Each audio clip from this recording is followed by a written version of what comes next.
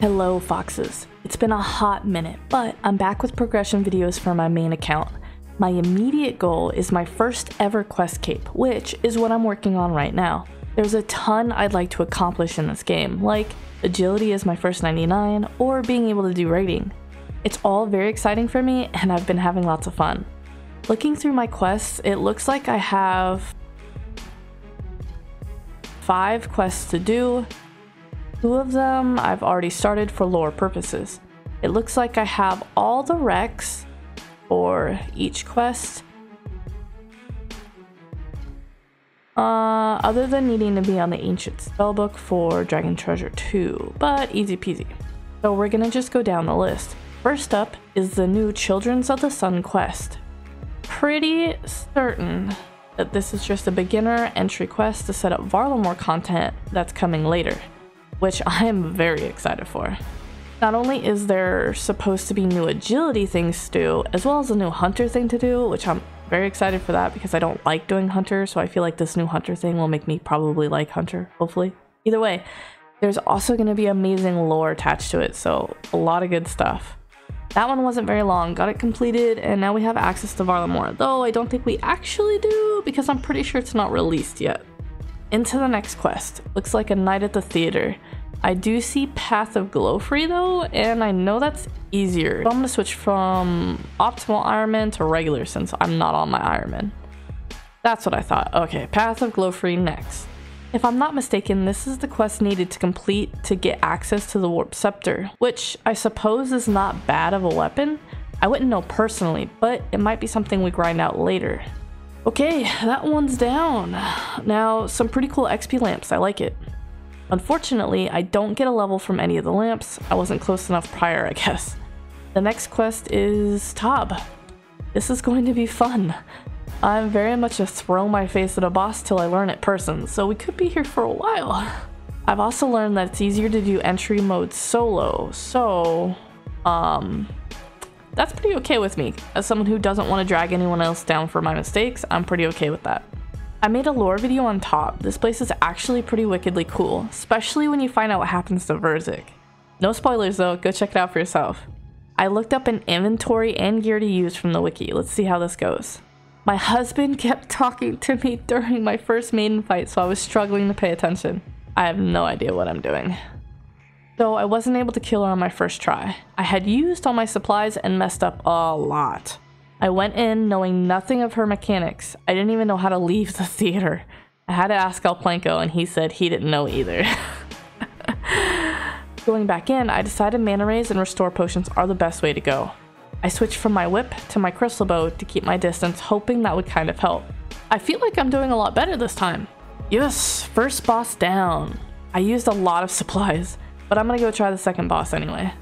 I asked Alplanko, who was already done on entry mode, what the bloat did. After a small recap, I ventured forth. He seems pretty simple.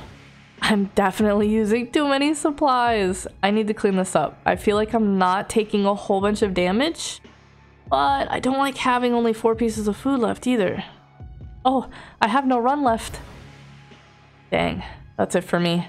I didn't monitor my run energy. I don't want to try again. I want to go refill my supplies and try to use less next time. I gotta clean this up. Definitely did better with Maiden. Bloat is just destroying me. I can't avoid the flesh to save my life. Yes, there it is. I've got virtually no supplies, but there should be a chest. It has 10 health packs in it. Let's go see who the next boss is. Oh, the Nylocas. Man, this one takes a long time. Do they ever stop coming? Man, a pillar fell. I died. This one's gonna be a little harder than I thought. So I bought Osmumten's Fang and it's been sitting in my bank because I didn't have 82 attack. I'm close though, so I'm gonna take a small break from Tob and go do some Slayer. He gave me a TzHaar task. I'm gonna upgrade this to Jad, walk in and then walk out and get a new task because I really don't want to be wasting time on that. 177 greater demons, that's better. Only a couple kills left. I'm actually really excited to use the Fang. I spent far too much money on it. I'm a little nervous, a little edgy about it because I have not that much money left uh, in my bank. So I really want it to be useful, which I know it is, so I'm really excited to be able to use it. Awesome, 82 attack. Let's go set up for another entry mode Tob run. With the Fang as my melee switch, I also decided to take my Toxic Blowpipe as my range switch with Amethyst darts in it, instead of the Crystal Bow. I decided to cut back on super restores and bring more manta rays. I've made it all the way to Verzik this time. I have zero food, but I've made it to her. I'm going to at least attempt her just to get a feel. I wonder if magic works against her? Maybe range does? Uh, it definitely looks like magic doesn't work against her. Damn, I'm dead. okay, let's go again. This time I got her a quarter of the way into her second phase. Here, I'm hoping a simple ping pong motion can help me in the second phase. Down to 20% in this phase and I die. I did it! I killed her!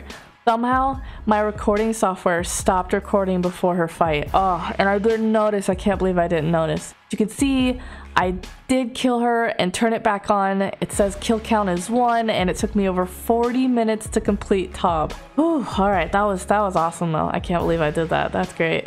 Uh, let's loot the chest. I know there won't be anything good in it as it's entry mode, but a girl can hope. Thought so. Let's finish out this quest by talking to this mysterious stranger. Four lamps and two points. Not bad. I'm gonna put them in defense as I plan to level the other stats via Slayer anyway, so... And defense is probably gonna be the last thing I try and level, so why not just them in it. I want to put together a solo entry mode Tob guide, so I need to go back in and record that Verzik fight that my recording software forgot to get, or like lapsed or whatever. I'm acting like it's a person, but you know, it, it stopped after Xarpus for some reason, and I just didn't get the Verzik fight.